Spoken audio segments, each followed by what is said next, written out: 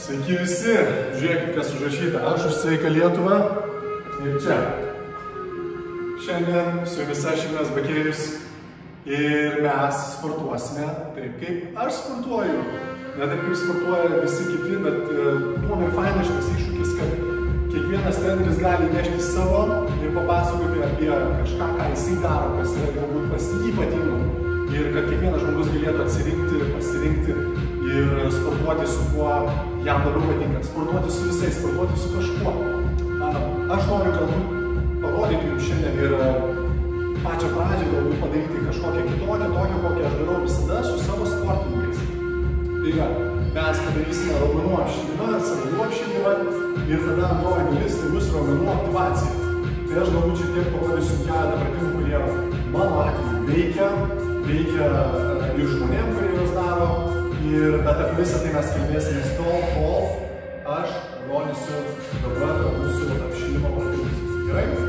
Tai pasimkite vandens, nes per pertraukėlės mes gelsime, turėkite rankštus, jeigu praktikas bėgs.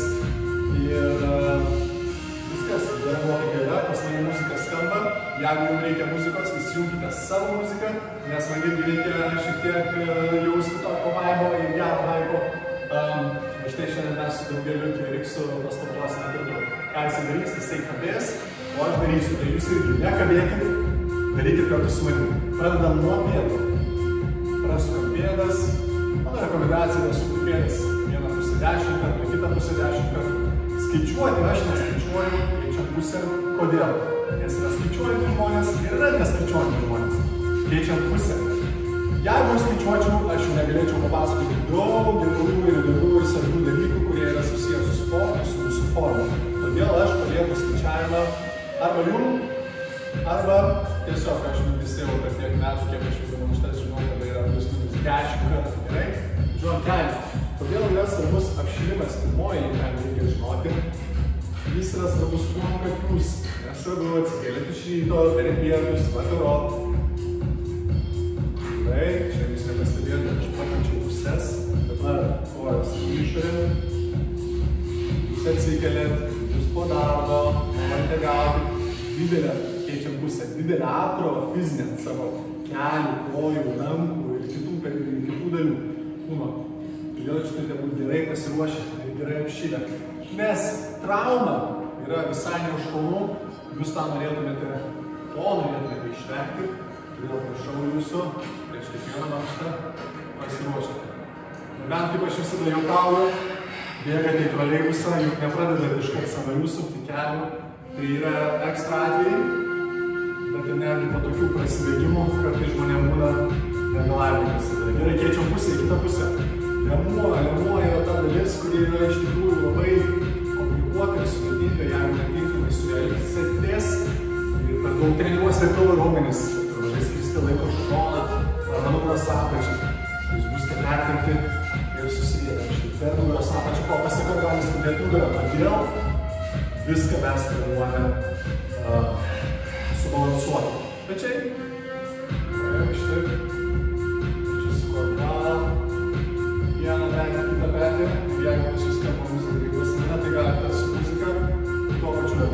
Pajudinti, kas tada gaunasi. Šokis. To šokį leidžia, tai bent jau namie. Treniruoti, ne? Gerai. Uh, Laisvės į pirmį atgal. Šitai. Nesilenkiu pirmyn tiek, kad siekčiau kojų pirštų, nes kol esu neapšilęs, tai net nenoriu rizikuoti. Uh, atgal nesi, nesilenkite tiek, kad būtų, pavyzdžiui, per didelis skausmas. Jeigu per didelis skausmas yra, užtenka ir tai grįžti viršų. Gerai? rankos per šonus. Vieną šoną į kitą šoną. Jūs darote su iškvėpimu. Konstatyviai iškvėpiu tuo metu, kai reikia. Ir prieinu šiek tiek truputį pasimatyti pas jūs čia, nes dabar kol kas dar tų kojų nereikia, viskas per viršų. Nu, labai gera maikė tokia aptemta, tokia tampri, viską eina savo. Gal ir jūs galite užsisakyti tokią. Sveikuolė LT gal jums padovanos, tai jūs prašom, jeigu tik tai norite irgi tokią turėti, tai taip ir padarykite, parašykite jam. Simonas Dailidė. Tai visa jo komanda. Taip. Kakas. Kaklas sukam vieną pusę. Mhm, Kaklas yra ta vieta, kuri yra tikrai pakankamai jautri, todėl per daug labai ten neįsismartuokit su kaklu. Jam reikia lietai, patrūkti, išsijudinti. Na, gerai. Nepamirštate ir riešų, nes tai yra irgi ta vieta, kuri tikrai dalyvauja mūsų gyvenime. Ir jinai apleista, neprižiūrėta, arba labai stipriai perkrauta, pradeda skaudėti, o kai riešas skauda, ar alkūnė skauda, tai irgi tas toks gyvenimas tampa nemielas, kaip ir bet ką, ką kitą, jeigu jums skaudėtų. Gerai, štai jūsų alkūnės, vieną pusę ir kitą pusę ir jums kartuoja, kūnas dar pajudus gaunasi visai neblogas judesėlis, taip? Aš norėčiau pamatyti jūs, užsileidus muziką, darant tokius visokius judesėlius ir mane Instagram'e kur nors ją išteginsit. Arba viena ranka vienaip, kita savo kitaip, kur nors ar. Gerai, um, toliau. Tai čia buvo tik sanariai, mes apšydėm sanarius, dabar antroji dalis mes darysime stabilizacijos pratimus, tai yra pradžio kono, o paskui daugiau mobilumo pečių juostą. Taigi, antras, dešimt kartų. Jūs pagrebėt koją, pasistebėt ir pakeliat. Pagrebėt koją, pasistebėt ir pakeliat.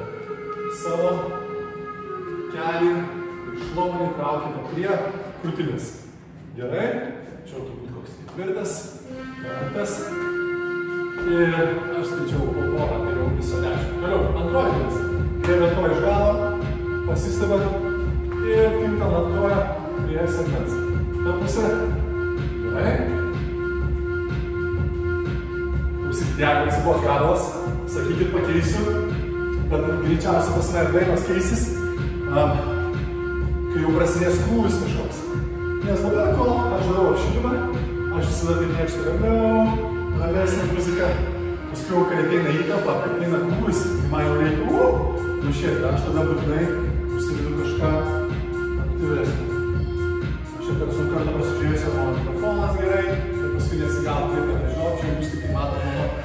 Kūną. Štai taip, pasėmėt, kilstelait savo pėdą aukštyn. Gerai? Kas atsitinka? Pirmą kartą pasiėmė tik tai triokšt vienas kelias, triokšt kitas kelias. Aš net iš čia girdėjau tą traškėjimą. Tai reiškia, kad vandens kiekis per mažas išgeriamas, reikėtų daugiau, taip ir padarykite. Gerai, pasistebimai. Atsistoti prie sienos, į kūlą įrėmėt ir greiti pasistebimai. Nepykit dovanokit man, kad aš jum atsukus sėdimąją, bet ką man padarysi. Um, beje, Simonas man šitą vaikutę ir štai Simonas, žiūrėk, aš va, praktiškai galiu išnykti kaip chameleonas prie sienos. Gerai, pirštas į pirštą ir važiuojam. Beje, aš turiu tikrai rašęs nemažai treniruočių, esu sukūręs online, online treniruočių studiją arba online treniruotės namie.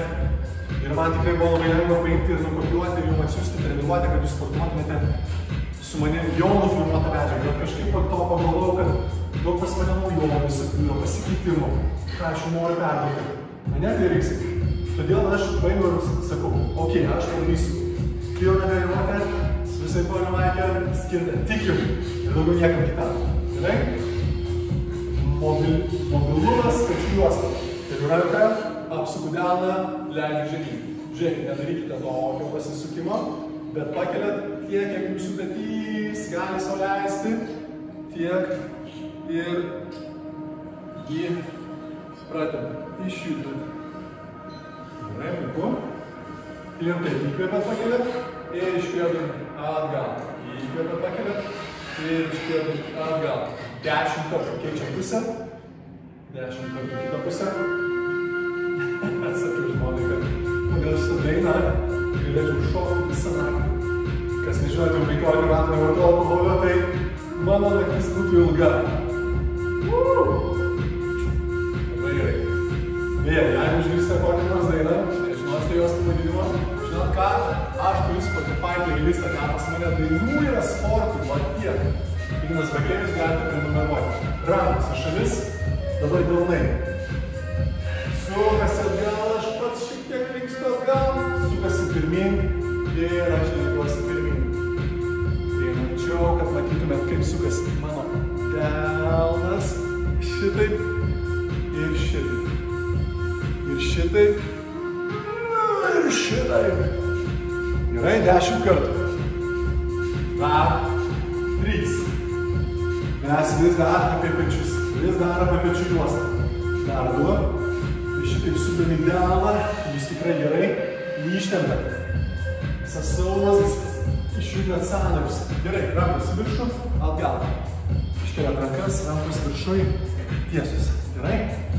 Beje, šiandien mūsų treniruotė bus su savo kūno svoriu, tam, kad jūs namie, nenaudodami jokios įrangos, galėtumėte pasportuoti. Aišku, pilna treniruočių nėra su įranga, bet kol kas aš nesakau sportuoti tik su savo kūno svoriu, bet jau netrukus bus treniruočių namie ir su svareliais. Jo labiau, kad jūs galite nusipirkti po 2, po 3, po pusantro, po 4 kilometrus. Gerai. Toliau, dar vienas toks tikrai nelengvas pratimas. Gal jums reikės kažkokios pakilos, jūs pažiūrėkite. Jeigu yra pakilos ir esate lankstus, tai jums užteks ir čia. Lenkiu kojas, pasiekiu žemę, ištiesiu savo kojas. Viens, du, nusileidžiu. Delnai mano nepasikelia. Ir tai turėtų būti kažkaip, kažkurioje vietoje, kur tikrai nėra lengva. Man jau čia artima būtų per sunku, tolinant būtų per lengva. Todėl aš pasirinkęs esu aukso viduriuką. Dešimt kartų tokių. O jeigu per sunku, ir ten jau turite vos tai lentą laikyti, tada atsistoja čia, ant pakilos, ištiesiat tas kojas, užfiksuoja raumenis ir grįžtat atgal sulėmiu. Įkvepiu ir iškvėdamas vienas, du, grįžtu atgal. Gerai, aš dar padarysiu keturis kartus nusileidęs, jūs pasirinkite jų patogią padėtį ir užbaigiam tą apšilimą. Gerai, dar trys kartai, dar du kartai ir paskutinis. Ok. Didžioji dalis žmonių negali padaryti šio pratimą dėl to, kad yra sutrumpėję raumenys ir jisai mėgina lenktis, neleidžia, įtampa, bijo, kad suplyš. Todėl nepamirškite to fizinio aktyvumo bei tempimo. Gerai.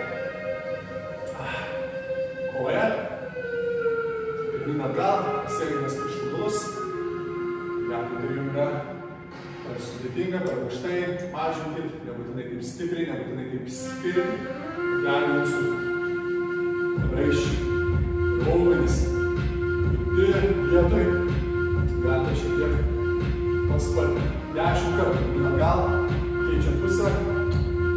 Ir su iškėpimu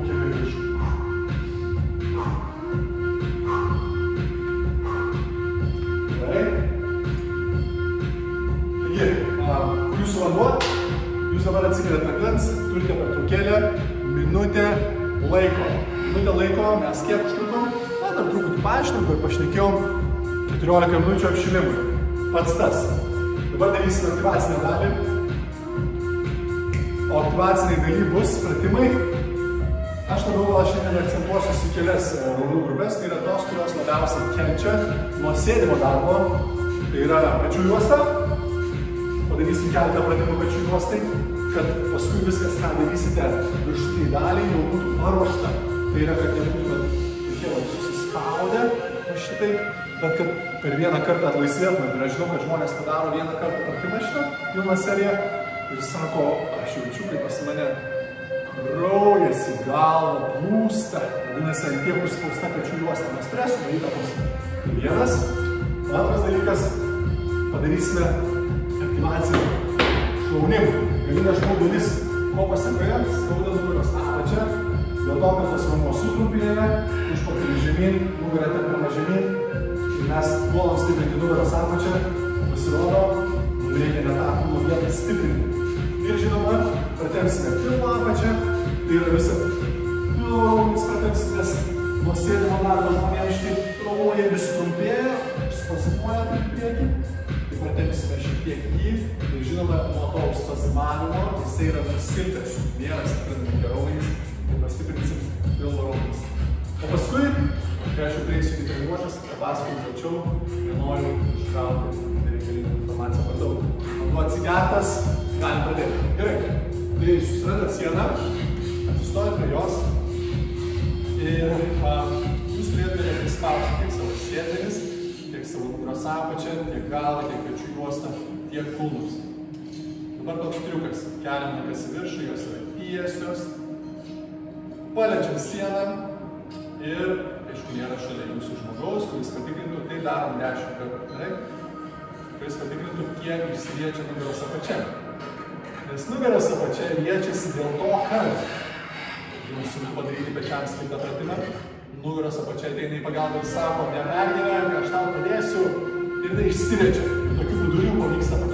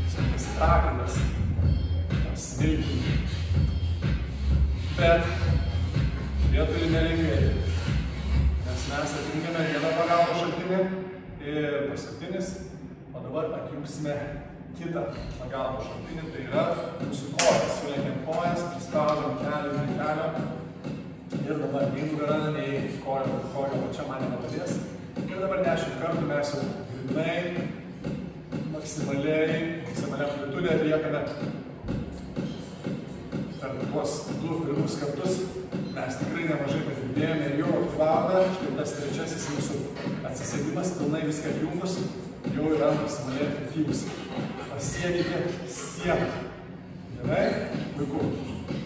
Dar trys du ir kažkam, kam iš jūsų vienas, gerai, pirmą datą, kažkam, kam iš jūsų yra per sunku daryti po dešimt, jūs darykite po, tarkim, penkis, šešis, septynis ir kiekvieną kartą vis didinite. Dabar turbūt svarbi ir aktuali tema tai yra, kaip pratempti šitą visą dalį, kurią mes ką tik padarėme.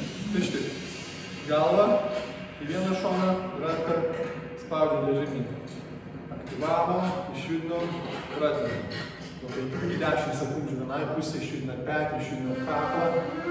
Ir tas pats į kitą pusę. Su viena ranka žemyn, nespauskit stipriai kaklą į šoną, nes ranka jūsų stipri bus per daug. Tai lengvai, švelniai vieną pusę grįžti atgal ir pradėti. Tai va, tokį pratimą aš rekomenduoju padaryti tris kartus. Bet šiandien mes padarėme vieną kartą, nes dalį pratimą dar reikia treniruotę padaryti, bet paskui, jeigu jūs darbe, ar tarkim, darant apšilimą, pamatysite, kad galite, o, noriu skirti tas pratimas, visai neblogas buvo. Dar kokias dvi serijas. Gerai, toliau. Duolis ramuo. Dabar yra kelios pozicijos, kokias mes galime daryti, tai yra sunkesnė, lengvesnė, sunkesnė. Mes atsiduom prie pakilos arba prie jūsų kėdės arba lovos krašto, pasižiūrėkit, kur jūs rasite vietą. Gerai? Mes darysime taip.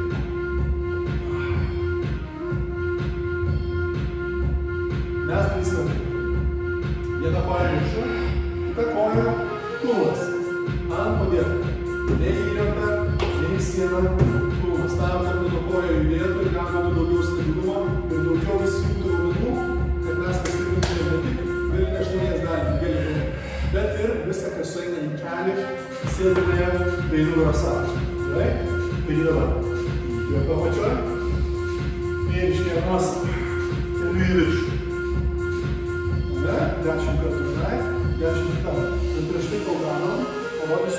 versiją.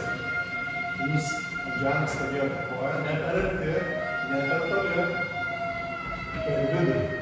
Ir šitaip kilmas. Leidit, leidit, iškėpėt viršus gerai. 10 kartų visi viskas aišku. Varom kartu. 3, 2, 1. Man liko 9 kartai, nes aš jau vieną dariau. Su iškėpimu turiu į viršų.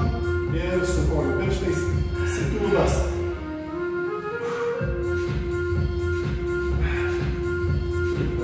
Puiku. Dar 3, 2, Geras. Šiluma aplankė jūs. Labai. Nesakau, kad šalta, bet ir kalbą nulaužo.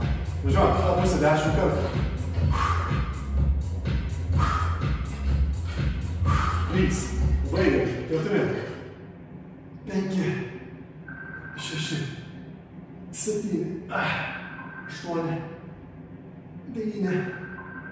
Ir 10.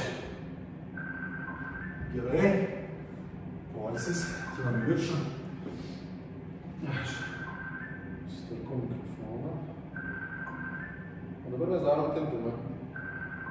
Tempimą galima beje daryti irgi to pačioje vietoje, kur mes įdarėm patį, patį pakilimą. Dabar kaip ištempti galinę šlaunies dalį. Statėte kūną, kelias šiek tiek sulinktas ir kojų pirštai į save, lenkite su pilvu ant šlaunies ir šitaip spaudite savo pilvą ant šlaunies ir turėtumėte jūsų tempimą, štai čia pilni šlaunies dalykai. Jeigu tempimą jaučiate blauzdoj, vadinasi koja arba per stati, arba per tiesi. Koja šiek tiek sulimta, nudodat pilvą ant šlaunies ir štai šitoje vietoje turėtumėte jausti gerą, gerą, gerą. Gerai? Pakeičiam koją, vėl tempimas nuo 5 iki 10 sekundžių. Vienai kojai. Jeigu esate labiau sportuojantis, tempkite nuo 10 iki 15 sekundžių, nes tikrai bus gerai. Pilnas, ant šaulies, koja prieštai save, koja šiek tiek surinkta, tempėsi ir neštunės dalis. Gerai. Trečias pratimas, kaip ir minėjau, padarysime pilvo raumenim aktyvaciją. Yra mūsų 10 kvadratėlių, kurie keturi slepiasi po šonkauliais ir dar šeši matomi vizualiai. Taip, tai aktyvacija. Guluosi aš ant nugaros, galima pasirinkti alkūnės mano ant krūtinės ir aš šitaip iškvėdamas pasikeliu ir paliečiu kelius. Vienas. Gerai? Iškėlimas yra viršui ir pasikeliat viršų. Dešimt tokių kartų. Lengvesnė versija, jeigu jaučiate, kad jūsų kaklas labiau dirba, negu pilvo raumenis. Tai tada rankos ištemptos į viršų, įkvepiat ir iškeliate kelią save, tik tai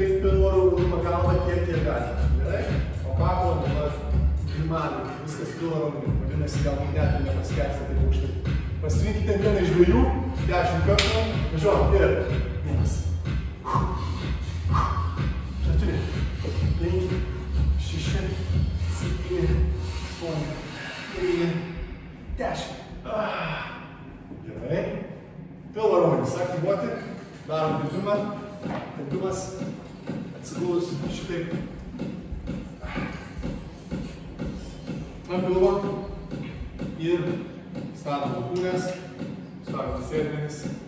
Ir keliam galvą į viršų.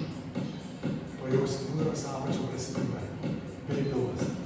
Šiek tiek stipresnis tempimas, kai jūs nepakeliat klubo, tiesiog atsikeliat žemės, keliam galvą į lubas ir pajusti tikrai, kai jam ką perėtas pilvas, kaip gerai tempia nuo pat artikaulio iki per visą pilvą, iki pat pat pat gerklės, nes ten ir baigėsi jūsų six packs.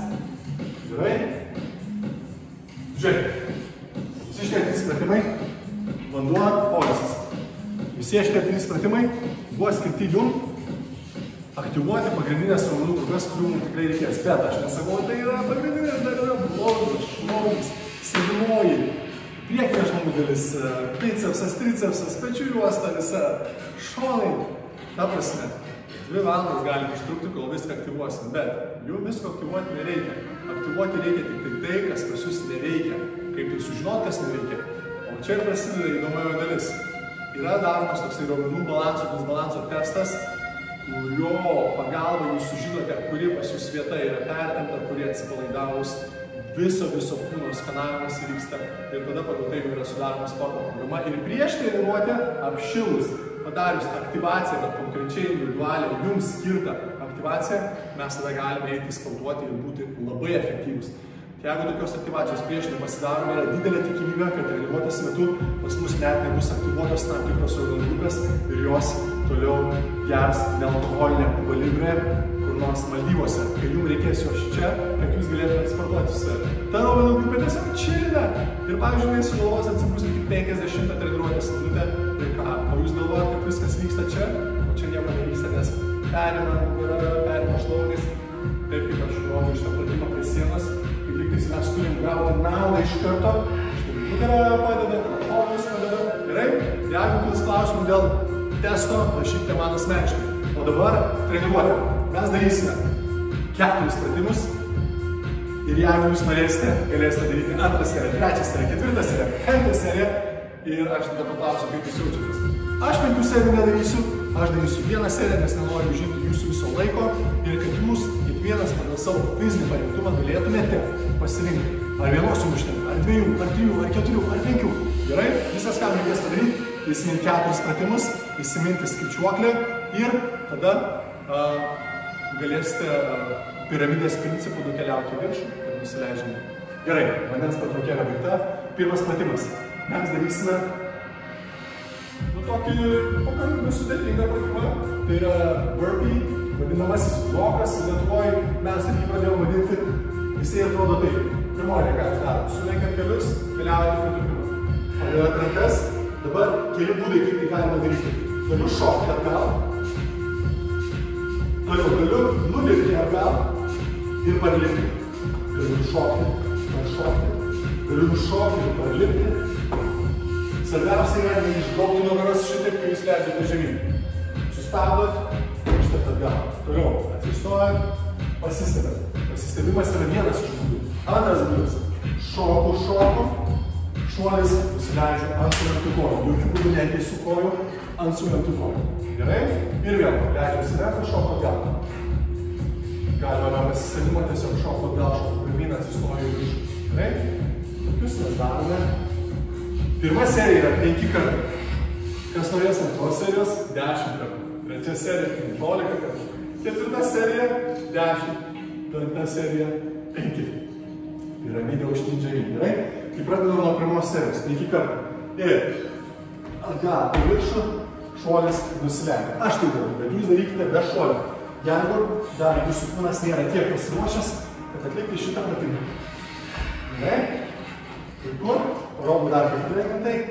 Vieną kartą. Pasistebiu. Dar vieną kartą šuolis atgal. Ir nusileidžia. Gerai. Čia buvo penki.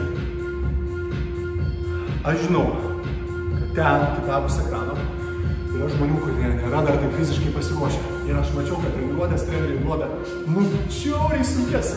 Todėl labai svarbu visada turėti galimybę palengvinti. Tai štai jau palengvinimas. Negalite taip, darykite taip. Ir vieną dieną, kai jūs sustiprėsite, galėsite padaryti sunkesnį versiją. Bet kas atsitinka, kai jums yra per sunku, jūs nekokybiškai darote, gerai darote, kitos raumenų grupės dirba tos, kurios neturėtų dirbti. Todėl neskubėkit ir jeigu ką darykit lengviau, darykit pertraukas. Antras pratimas – atsispaudimas. Atsispaudimų reikia iki pilielio, man nereikia, bet jeigu reikės, pasiliekit po keliais, jeigu darysit nuo kelių ir tam, kad nenuslinkti, nenuspausti kelią. Toliau, kaip jį daryti reikia? Delnai. Vienodai su juostai su krūtinė. Šiek tiek plačiau negu kilimėlis. Delnai, nuo tokio pozicijų tik tai išsiskiria į šonus, ne į priešingą pusę, o labiau į vidų. Taip, toliau.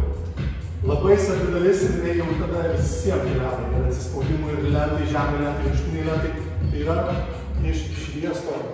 užpakalio ir nugaros padaryti taip, kad mano pilvas yra įtempiamas, sėdmenys įtempti. Žiūrėkit, tai norėčiau. Kur čia matysis čia? Išviesta, užfiksuota. Tai yra, jeigu stovi netoli išviesta, bet čia kaip dažnai labai žmonės daro atsispaudimus ir pradeda lūžti jų nugarą. Iš to vietoje aš įtempiu pilvo raumenis, įtempiu sėdmenis, o šitas užfiksavimas. Jeigu nepavyksta padaryti, daryti darot būtinai nuo kelių, nes nuo kelių gal taip nebus blogai. Bet jeigu darot pilną atsispaudimą ir neužfiksuojat pilvo ir sėdmenų, tai jūs tikrai kiekvieną atsispaudimą darant žalosite savo nugaros apačią. Pečius apkrausit per daug. To nereikia. Dabar kvepavimas. Aš įkvepiu apačioj, iškvepiu kilnas viršų. Viskas. Darom tokių 10 atsispaudimų. Pirmoji serija, antroji 15, trečioji 20, ketvirtoji 15, penktoji 10. Suruošiam ir įkvepiu, įtempiu sėdmenis, įtempiu pilvą, leidžiu žemyn. Vienas. Du. Trys. Sunku nuo kelių. Keturi. Baigiu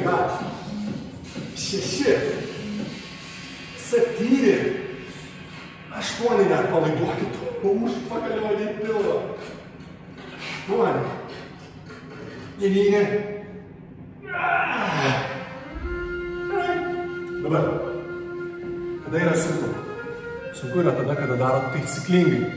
Netaisyklingai, atrodo, kad arba lengva, arba kažkas ne taip, arba skauda ne tose vietose, kur turėtų skaudėti. Niekada nepaleiskite pilvo ir sėdmenų pačia. Šitaip užfiksavę darot. Šitaip žalojat.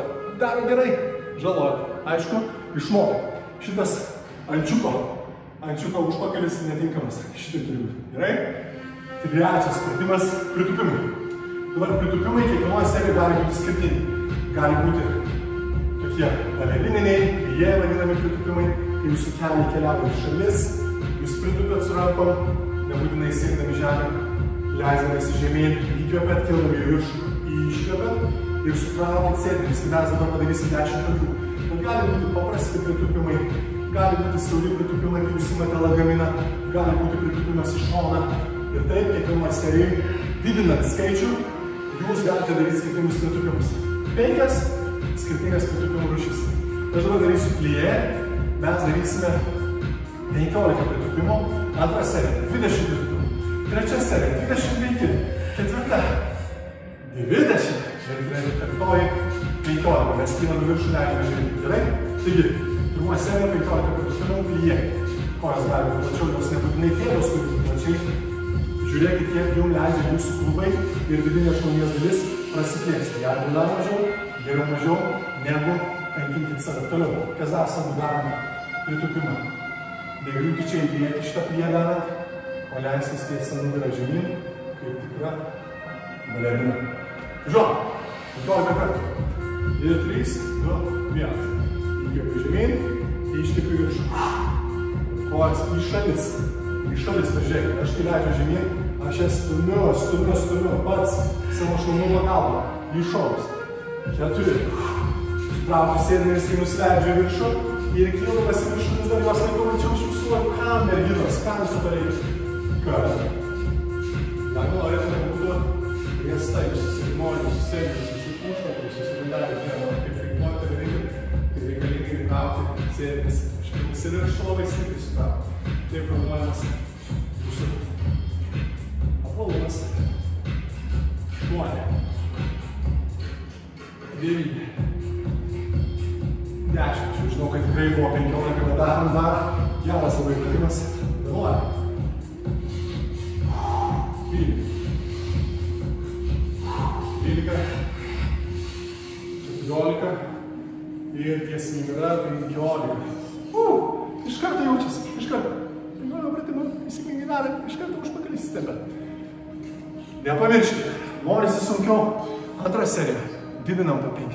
Trečia serija.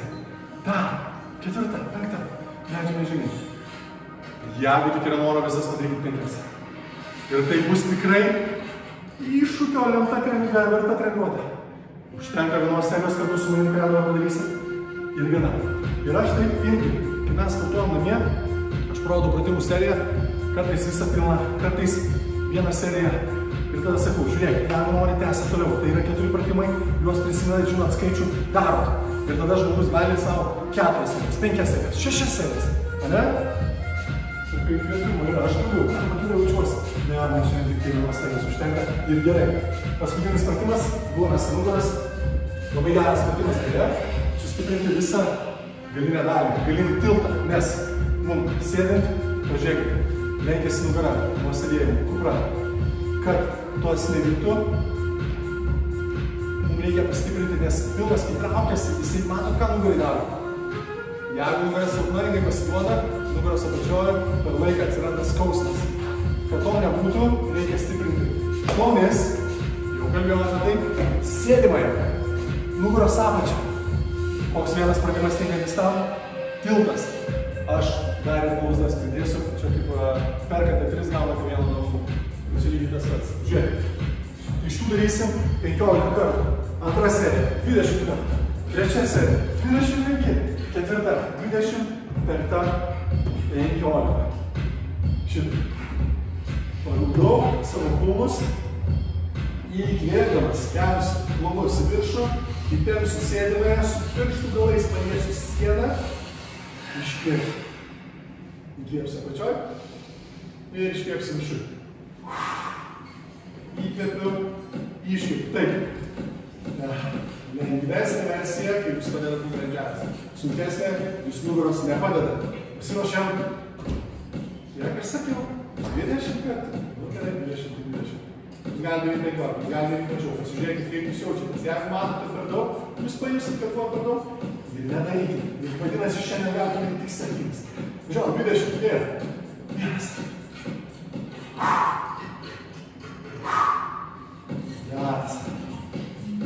Ką jūs jaučiate kiekvieną kartą.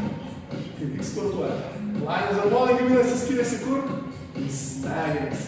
Visas kūnas jaučiasi kaip? Gerai. Išjudant kraujotaką, limfotaką, deguonį, vandenį.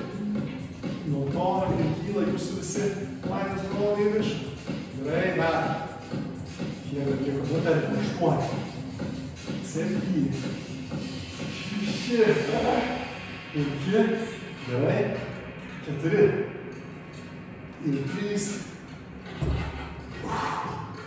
Ir nepamirškite kvepavimą. Sutraukti sėdmenis iš 20. Ir jeigu tai yra tiek, kiek jūs darote, tai šią treniruotę beveik ir baigsim, pasidarysim tempimą ir baigiam. Bet jeigu tai nėra pabaiga jūsų, jūs darote kiek dar, keturias serijas, tai jūs ir atsipūskit, minutę laiko, pusantros, dvi, atsigėrėt vandens, antrą seriją, pum, atsipūtėt, trečia serija, o matot, kad jau užteks, ilsėkitės, viskas, daro tempimą, keliaujat veikti, ką jūs veikia. Bet jeigu jaučiat, kad galite visas penkias serijas, tai ir padarykite. Gerai? Taigi, atsigėrėt vandens, tempimas atrodys šitaip. Iškart prasidėjom, kokias raumenų grupės mes treniravom, ką mes darėm. Mes darėm krūtinį. Gerai, prasidėjom krūtinę. Rankos jūs čia, šitaip, spaudžiam. Tarpumentį atgal, tarpumentį pratempam, krūtinės sąsą pratempam. Ir dabar, kadangi darėm atsispaudimus, kliuvo pečiam, pratempam ir viršutinę pečių dalį. Spaudžiam krūtinės vidų, atsiranda šiek tiek kupra ir vėl. Atgal. Ir labai gerai. Atgal. Kelias sekundes. Pirmyn. Grįžti. Atgal. Ir Gerai.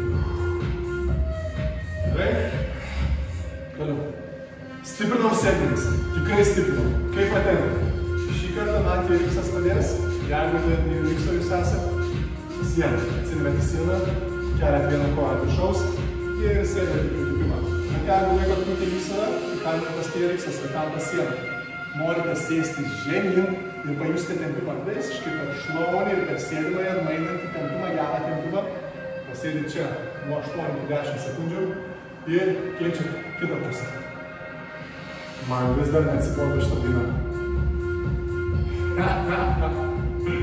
Gerai, sėdam žemyn. Kaip gerai, kaip gerai, kaip gerai. Iš tikrųjų, jeigu tai yra jūsų pirmoji treniruotė, kurią jūs darėte su manim, nes prisijungėte iššūkio šiek tiek vėliau, tai gerai. Vadinasi, užteks tiek. Kita treniruotė sunkiau, kita treniruotė sunkiau. Labai fainai, kad jūs kažkaip sugebėtumėte vertinti savo krūvį ir padaryti tai truputį po truputį, ne iš karto taip drastiškai, tai visas sunkiausias treniruotės. Truputį po truputį, gerai? Kad jūsų, kad jų ir atsistatymas būtų geras, kad jūs pamiegotumėte, kad pavalgytumėte, kad vandens pagertumėte, kad nebūtų paskui taip, skauda visus raumenis, jau kitą dieną treniruotę reikia daryti. Tai tempimas privalomas, valavimas privalomas. Taip, ką darėme toliau? Mes toliau darėme uh, stiprino nugaros apačią, taip? Tai nugaros apačią. Šiaip, leidžiu žemyn, viena ranka kojas, vysta žemyn, kita šitaip per viršų, su iškvėpimu. Aš per visą šoną, šitaip leidžiu žemyn, pradedam per nugaros apačią, viena kojų dalis prasideda, kyla kai viršų, šiandien tikrai valerino, valerino, treniruoti ir tas pats kitas. Iškepinėjau, iškepinėjau, sėkiu su ranka tolyn, tolyn į sieną. Gerai. Pilvą stiprinau, stiprinau. Kaip prastent, kaip prastent. Jeigu neišeina atsigulus prastent pilvo, gal išeis atsistojęs. Atsistojęs atrodo maždaug taip. Pilvas į priekį, bandau, tiek išeina. Tikrai ne kiekviena, bet ne kiekvienas tai gali žiūrėti nusileisti. O kaip pratempti? Atvirkščiai pilvas. Armas į priekį. Pečius į vidų. Prasiranda. Keliai šiek tiek sulenkti ir prapuoliu greitai.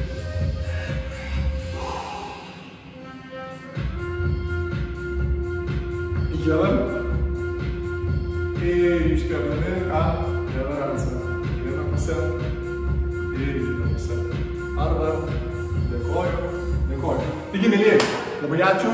Atsisveikindamas jums noriu palinkėti vieno paprasto dalyko. Jūs, kaip ir visam savo gyvenime, norite ir judate link kokybės. Vėl aš jums duosiu ir linkiu. Ne kiekybės, o kokybės. Tai yra, kokybiškas maistas būtų. Kokybiškas sportas, gera kokybiška sveikata, kokybiškas miegas. Jeigu nepavyksta vienu metu visko padaryti, labai sunkiai gali pavykti, bet vieną po mažą, po mažą žingsnelį, kiekvieną dieną vis kažką naujo, vis kažką naujo, vis kažką naujo. Ir pasižiūrėkit, po 3-4 metų bus daug, daug kokybės. Su jumis buvo aš, Ignas Bakėjus, aš esu Sveika Lietuva, kartu su sveikuoliais. Linkiu gero vakaro, geros dienos ar gero ryto, kad ir kada jūs bespartavote. O mes su jumis pasimatysime tada, kada pasimatysime.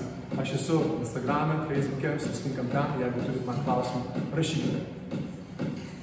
PS. Jeigu tai yra dar ne pabaiga ir jūs dar tęsite antrą, trečią, ketvirtą, penktą seriją, tai jūs žinote, kaip skaičiuoti ir žinote, ką daryti. Linkiu sėkmės, parašykite komentaruose, kaip sekėsi ir kiek serijų padarėte. Good. Got